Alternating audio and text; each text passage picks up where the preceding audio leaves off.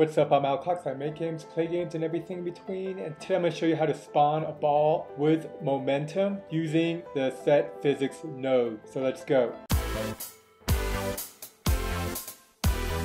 If you're new to BuildBox and learning how to use all the custom nodes, be sure to like and subscribe if you haven't already as I put out content around developing games in BuildBox. Just Starting out, let's go to create new 3D game. First thing we want to do is spawn a sphere. Why don't we make this cube spawn the ball detach the start to the 3D model so that it is invisible. We can still see it here, but if we hit play, then there is no cube. It's in the debug mode, but the cube is invisible. Take the cube and change it to kinematic because I don't want it moving around. I want to move the camera over here so that we are looking at everything in the proper way. Move the camera back. This cube, we want to spawn a sphere on tap we want to add on touch, on touch and spawn, press, then we want to spawn the sphere. Dynamic, working good,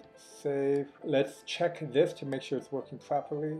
Tapping the screen should spawn a sphere. It's working, so that's a good start. Next, we want the ball to move forward. I'm gonna go ahead and add a random color. The next thing we want to do is, is add a set physics, set physics node. Now what this will do is once the ball is created, it will give it a physics and move it in the direction we decide move these to zero and we're going to move it to negative 6z which is for direction and then these are also zero and this we're going to move to 5 and this will actually make the ball look like it's rotating so let's take a look and nada okay that's not good oh here we go set physics to kinematic that's where the mistake was now dynamic the spin is not the direction I would like it, so let's go here. Move it to negative 5. Make it, you know what, make it negative 15. From here we can just see things happen.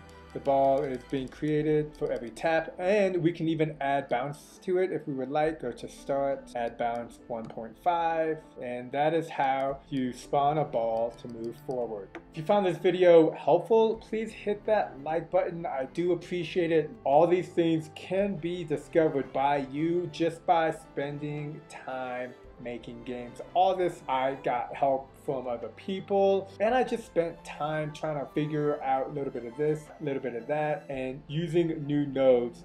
When creating this in my game was a struggle but for you it's in a short clip so I hope you use it. If you do let me know. Stay safe. If you're in lockdown mode like me and I will see you later. Peace.